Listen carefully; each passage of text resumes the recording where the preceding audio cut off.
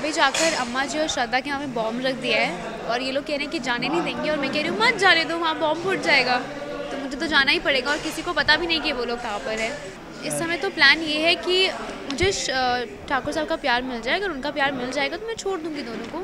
लेकिन ठाकुर साहब तो प्यार करेंगे नहीं मुझे। कि आप मैं आप मेरे पास आ जाइए मुझे मेरा हक दे दीजिए मुझसे प्यार कीजिए तो मैं उन दोनों को छोड़ ऐसा हो सकता है अगर शेर सच में उससे प्यार करे, जिसकी पॉसिबिलिटी बहुत कम है, मुझे पता है कि शेर कहीं ना कहीं झूठी बोल रहा है। इसीलिए मैं उसे कह रही हूँ कि साबित करो कि जो आप बोल रहे हो वो सच है, तभी मैं आपको जाने दूँगी।